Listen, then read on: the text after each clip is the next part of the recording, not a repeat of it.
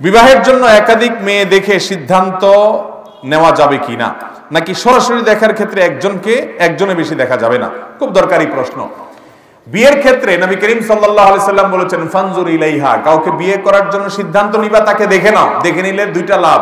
নবীজি সাল্লাহ বলে দিয়েছেন, এক, কারণ ওই মেয়ের মধ্যে কোনো ত্রুটি থাকতে পারে চেহারা, ছবি অন্য কিছুতে, যেটা তোমার পরে খারাপ লাগবে, আগে ভাগে দেখে নাও। একই কথা মেয়েও ছেলেকে দেখে নিবে।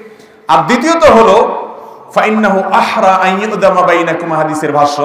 বিয়ের আগে যদি দেখে নেওয়া হয়, তাতে পারস্পরিক সম্প্রীতি, ভালোবাসাটা এবং মুগ্ধতাটা একটু বেশি হয়। এই জন্য বিয়ের আগে দেখে নেওয়াটা সুন্না নবীজি সাল্লাহ সাল্লামের নির্দেশ। এখন কথা হলো, বিয়ের আগে দেখা যাবে, এর মানে কি? রাস্তায় যত মেয়ে যাবে, সবগুলোকে বিয়ের নিয়ে একবার একবার দেখবেন? কি বলেন? বিয়ের আগে দেখা যাবে, এর মানে কি? সারা জগতে যত মেয়ে আছে বিয়ের নিয়ত করে করে দেখে বেড়াবেন? বিয়ের আগে দেখবেন এর মানে হলো, এই মেয়ের বায়োডাটা নিলেন, তার চোদ্দ গোষ্ঠী সব তথ্য নিলেন, সবকিছু জানলেন, সব বেটে বলে হইল পারিবারিক ভাবে এবং ব্যক্তিগত ভাবে সব বোঝাপড়া পছন্দ হলো, শিক্ষা, দীক্ষা, অন্যান্য সবকিছু মিলে গেছে।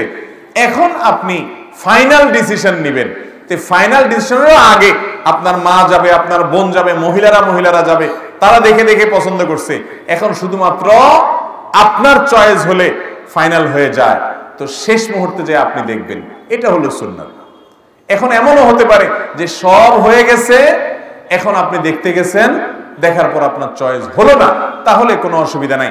আপনি আরেক জায়গায় আরেক মেয়ে দেখতে পারবেন। কিন্তু অনেক ছেলে আছে, প্রবাস থেকে যখন বিশেষ করে আসে, দেশেও অনেকে আছে এরকম, যে সারা দেব, সারা দেশের, সারা এলাকার মেয়ে আর একটা বাদ রাখেনি সারা দিন শুধু ঘুরে বেড়ায়, পাঁচশো টাকার নোট একটা একটা করে জুলাইয়া জুলাইয়া এর পাঁচশো ধরায় দেখে, ওই বাড়িতে আরেক মেয়ে দেখে পাঁচশো ধরায়া ওই বাড়িতে এরকম বদভ্যাস আছে না নাই অনেকে?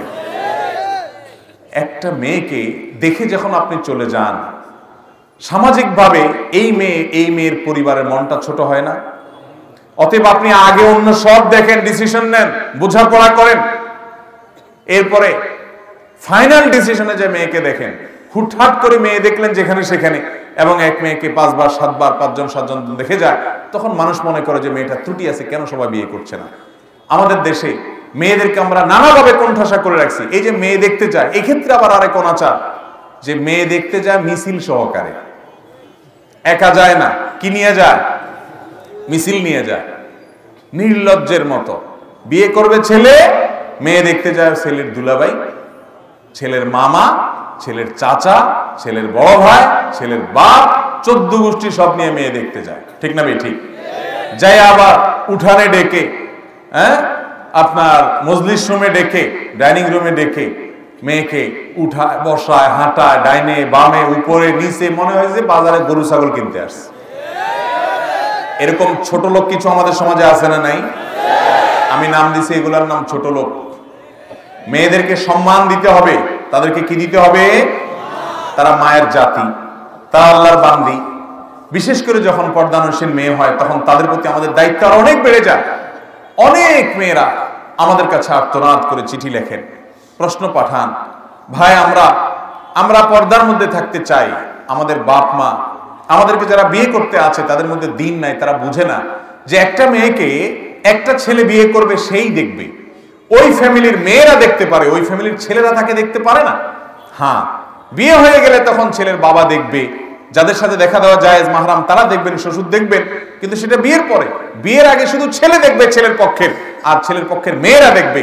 কিন্তু আমাদের দেশে দেখা যায়, বিয়ে করবে ছেলে, চয়েস করতে আসে ছেলের দুলাভাই। দুলাভাইয়ের এখানে ব্যাপারটা কি আমাকে বলেন? কি বলেন? দুলাভাইয়ের কোনো ইস্যু আছে? এগুলা নির্লজ্জতা, এগুলা বেহায়াপনা। অনেক বেহায়া দুলাভাই আছে, তারা যদি ডাকা না হয়, তো বলে যে বিয়েতে আমি আর নাই। আছে না নেই? এই ছোট লোকই দুলাভাই, যাদের মধ্যে দুলাভাইগিরি, যাদের মধ্যে আছে, এরা সব সোজা হয়ে যান। আল্লাহরে ভয় করেন, আরেকজনের বউ আপনি দেখতে যাবেন কেন? আপনার মতো বেহায় আরেকজন আছে আল্লাহর জমিনে? ভাইরা আমার, মেয়েদেরকে দেখতে গিয়ে বাজারে গরুর মতো, ছাগলের মতো করে অপমান করা।